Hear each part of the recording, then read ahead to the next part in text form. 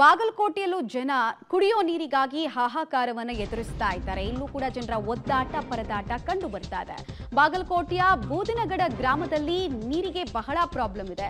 ಜೀವಜಲಕ್ಕಾಗಿ ಮೂರು ಕಿಲೋಮೀಟರ್ ತನಕ ನಡೆದೇ ಹೋಗಬೇಕಾಗುತ್ತೆ ಗ್ರಾಮಸ್ಥರು. ಎತ್ತಿನ ಗಾಡಿ ತೆಗೆದುಕೊಂಡು ಕೆಲವರು ಹೋಗ್ತಾರೆ.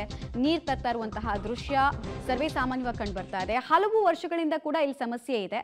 ಆದರೆ ಜನಪ್ರತಿನಿಧಿಗಳು ಅಂತ ಅನ್ಸ್ಕೊಂಡವರು, ಅಧಿಕಾರಿಗಳು ಅಂತ ಅನ್ಸ್ಕೊಂಡವರು ಇದಕ್ಕೊಂದು ಮುಕ್ತಿ ಕೊಡಿಸೋದಕ್ಕೆ ಮುಂದಾಗಿಲ್ಲ. ಅವರ ಇಚ್ಛಾಶಕ್ತಿಯ ಕೊರತೆ ಎದ್ದು ಕಾಣ್ತಾ ಇದೆ ನೀವು ದೃಶ್ಯಾವಳಿಗಳಲ್ಲಿ ನೋಡ್ತಾ ಇದ್ದೀರಾ. ಹೇಗೆ ಗಾಡಿಗಳ ಮೂಲಕ, ಎತ್ತಿನ ಗಾಡಿ ಮೂಲಕ ಅಲ್ಲಿ ನೀರು ತರೋ ಪ್ರಯತ್ನ ಪುಟ್ ಮಕ್ಕಳಿಂದ ಹಿಡಿದು ಎಲ್ಲರೂ ಕೂಡ ನೀರಿಗಾಗಿ ಕಿಲೋಮೀಟರ್ ಗಟ್ಟಲೆ ದೂರ ಹೋಗುವಂತಹ ಪರಿಸ್ಥಿತಿ ನಿರ್ಮಾಣ ಆಗಿದೆ. ಇದು ಬಾಗಲಕೋಟೆಯಲ್ಲಿ ಕಂಡು ಬರ್ತಾ ಇರೋ ದೃಶ್ಯ. ಬಾಗಲಕೋಟೆ ಅಂದರೆ ತ್ರಿವೇಣಿ ಸಂಗಮದ ಪ್ರದೇಶ ಅಂತ ನಾವು ಕರಿತೀವಿ.